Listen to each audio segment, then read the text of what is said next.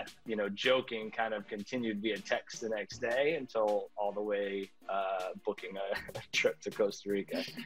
Robert and Khani arrived in Costa Rica on March 17th for what was supposed to be a five day trip. The first few days were definitely like a dream vacation. Everything was kind of going how I envisioned it would in, in my mind when you need to take a spontaneous date to another country. But then on day four is where everything really started to change. A global pandemic broke out.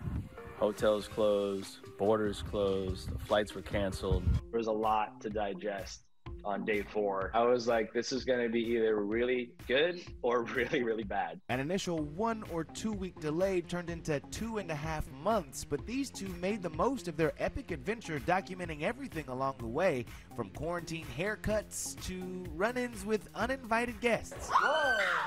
We made like a list. We've been trying to cook different foods. She tried to teach me how to dance. So there's been like all these viral dance challenges. I feel like we've, for the most part, had a, a positive outlook on it definitely more ups and downs. You know, we haven't fought or like wanted to kill each other, so that's always a good sign. Best date ever. Longest date ever.